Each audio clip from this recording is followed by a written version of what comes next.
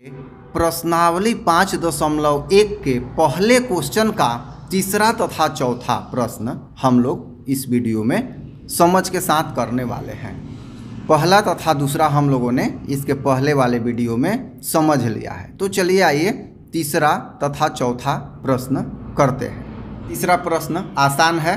प्रत्येक मीटर की खुदाई के बाद एक कुआँ खोदने में आई लागत, जबकि प्रथम मीटर खुदाई के लिए लागत 150 रुपया है, और बाद में प्रत्येक मीटर की खुदाई के लिए लागत 50 रुपया बढ़ती जाती है।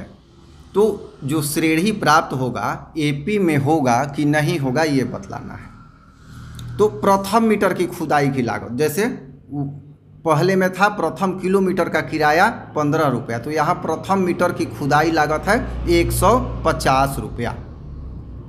अब दूसरे मीटर की खुदाई की लागत। तो दूसरे मीटर की खुदाई की लागत है एक सौ पचास प्लस पचास बराबर दो सौ। अब तीसरे मीटर की खुदाई की लागत तो दो सौ प्लस पचास बराबर दो सौ पचास रुपया। तो तीन प्राप्त हो गया हमें, अब प्राप्त श्रेणी तो प्राप्त श्रेणी 150 कॉमा दो सौ, कॉमा दो सौ पचास। डॉट डॉट आगे बढ़ता जाएगा। तो यहाँ फिर निकालेंगे पदांतर A two minus A one बराबर दो सौ माइनस एक सौ पचास, दो सौ माइनस एक सौ पचास। इसके ठीक बाद वाले से पहला वाला घटाया जाता है, कहीं भी तो बराबर आएगा तो ए पी में है। A three minus A two बराबर, दो सौ पचास माइनस दो सौ। तो ये भी आया पचास।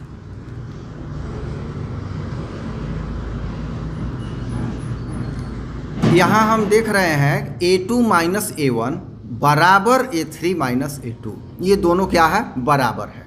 तो प्राप्त श्रेणी ए पी में है। ये होगा। चौथा नंबर प्रश्न है, खाते में प्रत्येक वर्ष का मिश्रधन जबकि दस हज़ार रुपया की राशि आठ परसेंट वार्षिक ब्याज की दर से चक्रवृद्धि ब्याज पर जमा की जाती है। तो यहाँ स्पष्ट है, ब्याज चक्रवृद्धि है और सालाना संयोजित है। तो प्रारंभिक राशि कितना दिया हुआ है? दस हज़ार। पहले वर्ष के अंत में मिश्रधन अर्थात एक साल बाद। सूत्र होता है मूलधन गुना एक जोड़ दर बटा सौ और पावर होता है वर्ष। तो मान बैठाएँगे, पहले वर्ष में मिश्रधन मूलधन कितना है? दस हज़ार। और ब्रैकेट में होगा one plus eight by hundred. कटेगा दो, यहाँ पच्चीस। तो दस हज़ार गुना पच्चीस जोड़ दो बटा पच्चीस। ये पच्चीस से गुना हो जाएगा तो पच्चीस प्लस दो बटा पच्चीस। तो पच्चीस से कट जाएगा ये दस हज़ार चार सौ चार सौ गुना सत्ताईस, दस हज़ार आठ सौ रुपया। पहले वर्ष के अंत में मिश्रधन हुआ। चलिए एक और निकालते हैं। दूसरे वर्ष के अंत में मिश्रधन तो दस हज़ार गुना एक जोड़ दर बटा सौ होता है, दर है आठ। यहाँ सौ है और पावर वर्ष होता है तो वर्ष के जगह पर क्या हो गया? दो हो गया। अब दस हज़ार प्लस पच्चीस प्लस दो बटा पच्चीस, ये कट के वही हो गया, पावर केवल बढ़ गया है। तो सत्ताईस बटा पच्चीस का स्क्वायर हुआ और यहाँ हुआ दस हज़ार। अर्थात सत्ताईस बटा पच्चीस गुना सत्ताईस बटा पच्चीस दो बार होगा। तो यहाँ सोलह गुना सात सौ उनतीस। ये कैलकुलेशन करके ये आएगा, आप देख लेंगे इसको। सोलह गुना सात सौ उनतीस। ये सोलह है और सत्ताईस सत्ताईस का सात सौ उनतीस बराबर ग्यारह हज़ार छः सौ चौंसठ। ये हुआ दूसरे वर्ष के अंत में। तो प्राप्त श्रेणी दस हज़ार दस हज़ार आठ सौ, ग्यारह हज़ार छः सौ चौंसठ, ये हुआ।